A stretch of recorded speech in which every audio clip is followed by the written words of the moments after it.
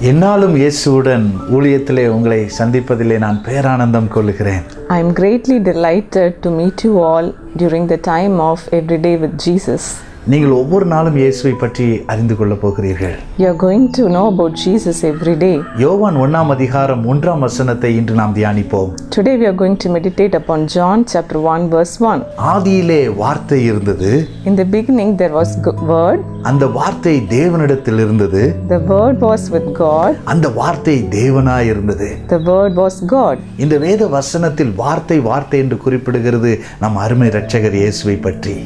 Here the word word reveals about Jesus Christ. ஒன்னு தீமோத்தேயு மூன்று பதினாறு சொல்லுகிறது 1 Timothy 3 verse 16 says that தேவன் மாம்சத்தில் வெளிப்பட்டாராம் this God manifested in flesh. இந்த தேவன் இயேசு என்ற இந்த பேரில் மாம்சத்தில் வெளிப்பட்டாராம் This God came in the name of Jesus Christ. எப்படி அவர் மாம்சத்தில் வெளிப்பட்டார் How this God revealed in flesh? பிலிப்பியர் இரண்டு ஏழு சொல்லுகிறது Philippians chapter 2 verse 7 says that அவர் அடிமையின் ரூபம் எடுத்து மனுஷர் சாயலானாராம் he took the form of a servant and he became man. காரணம் சாதாரண மனிதர்களும் இந்த தேவனோடு கூட பழக வேண்டும் என்பதற்காக Even this normal people should have a communication with God. இந்த வார்த்தை உங்களுக்கு ஆசீர்வாதம் கொண்டு வரும்படி நான் உங்களுக்கு ஜெபிக்க போகிறேன் I am going to pray for the blessings of God upon you. எங்களை நேசிக்கிற எங்கள் பரம தகப்பனே My dearly heavenly Father, இந்த வார்த்தை சொல்லுகிறபடி அப்பா நீர்தான் தேவனோடு கூட இருந்தீரப்பா as the word says that you were with God,